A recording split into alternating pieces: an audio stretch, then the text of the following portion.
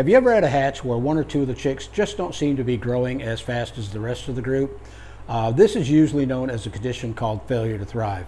Now, what happens in failure to thrive cases is as the group grows and progresses, um, the affected chick has a hard time competing, whether it's for food, water, and warmth. And what happens is they fall behind nutritionally and uh, they just don't do as well as the other chicks. So, what do you do in the case of having a chick with failure to thrive?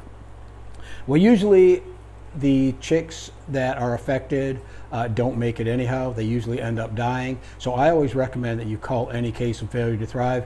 One, because you don't need to be feeding birds that aren't going to advance your program. And even if the bird did survive, they're not going to make a good uh, addition to your breeding program. So the best option is to cull chicks that show any sign of failure to thrive.